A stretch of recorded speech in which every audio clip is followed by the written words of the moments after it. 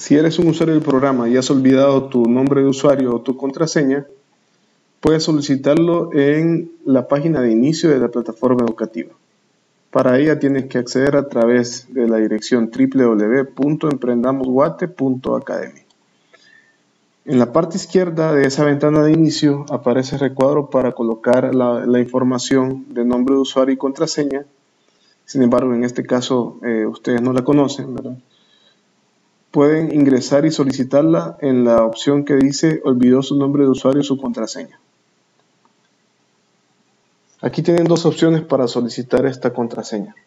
Una, ya sea colocando el nombre de usuario, en el caso de que ustedes hayan apuntado cuál es su nombre de usuario, pueden solicitarlo, ¿verdad? ingresando aquí el nombre de usuario y, y dando clic en el botón buscar, o a través de la dirección de correo electrónico que ustedes colocaron para inscribirse en el programa. En este caso haré una prueba para mostrarles cómo se hace colocando un correo de prueba. Y haciéndome clic en la opción buscar.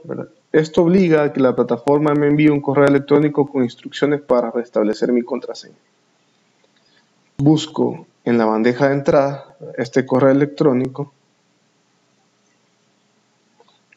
el cual me dice, bueno, hola equipo, usted solicitó un restablecimiento de contraseña para su cuenta, en este caso es eh, equipo Emprendamos, así se llama nuestro usuario, en el programa de apoyo al emprendimiento. Para confirmar esta petición y restablecer una nueva contraseña para su cuenta, por favor vaya a la siguiente dirección de internet y aparece un link para poder acceder. Este enlace, tengan en cuenta que este enlace únicamente dura 30 minutos. Si usted por algo motivo no puede completar esta solicitud y este restablecimiento de contraseña en esos 30 minutos, tiene que volver a empezar de cero. En este caso, hago clic, siguiendo las instrucciones, hago clic en, la dirección que me envíen. Esto obligará a abrir una nueva, ventana en mi navegador. En esta ventana me informan automáticamente cuál es el nombre de usuario.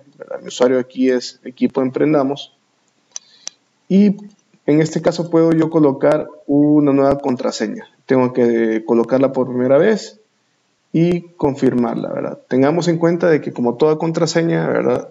Tiene que llevar más de 8 caracteres, tiene que llevar mayúsculas y minúsculas y tiene que llevar numerales. En este caso voy a colocar, ¿verdad? Mi contraseña nueva.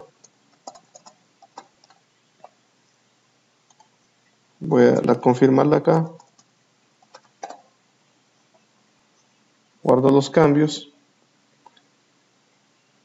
eso inmediatamente me lleva a ingresar en la plataforma, ¿verdad? O sea, directamente me confirma que la nueva contraseña se aceptó y ya puedo entrar y disponerme a utilizar la plataforma educativa para realizar las actividades que tengo pendientes del programa. Espero que estas instrucciones les hayan servido para poder restablecer su contraseña y poder continuar con las tareas del programa.